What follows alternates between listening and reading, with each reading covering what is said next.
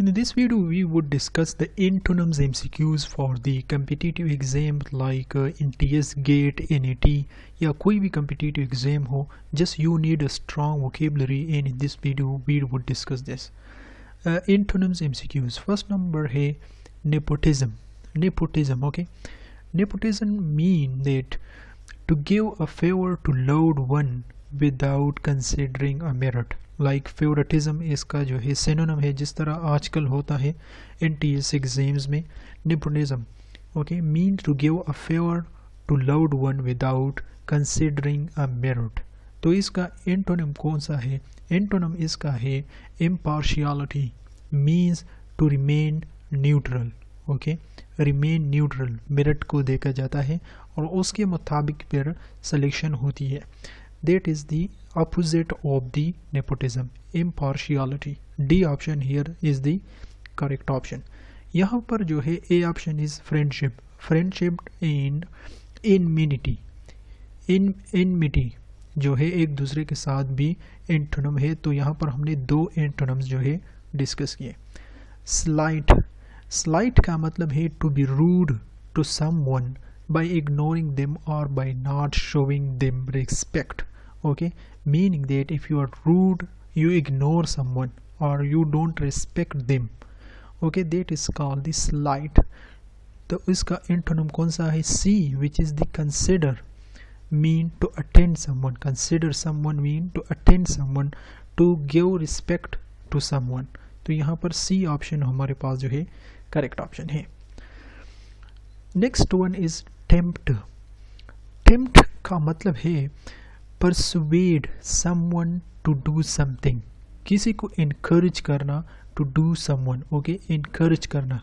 किसी को परसुवेड कर देना टू डू समथिंग तो यहाँ पर मैंने एक वर्ड यूज़ किया इनकरेज तो definitely A option is the correct option which is discourage means to deter deter का मतलब है to stop some one to do something to stop someone to do something okay so which is completely the antonym of the tempt.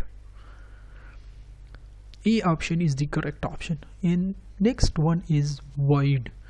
Void ka matlab hai to void means abolish okay to get rid of law system practice etc okay ek कानून को ख़त्म करना system को ख़त्म करना to get rid of law system practice etcetera okay यहाँ पर antonym है endorse endorse means to establish abolish in establish यहाँ पर दोनों एक दूसरे का एंटोनम है. यहाँ पर अबोलिश भी हमने कंसिडर किया. अबोलिश का एंटोनम जो है इस्टेब्लिश वर्ड का इंटोनम जो है इंडोर्स यहाँ पर हमने ऐसा कंसिडर कर रहे कि फोर वर्ड्स हमने डिस्कस की okay which which are this antonyms to each other okay तो इस्टेब्लिश का मतलब है to make something start to exist और start to happen okay establish करना, कानून बनाना to establish a system a law okay तो यहाँ पर बी ऑप्शन हमारे पास करेक्ट ऑप्शन है।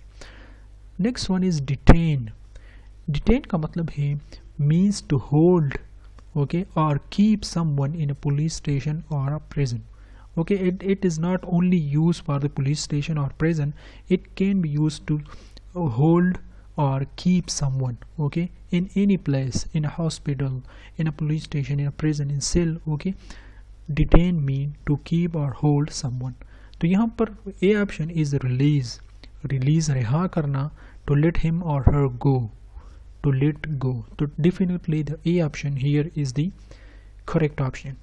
Okay? So this is the last mcq i hope you you like this video.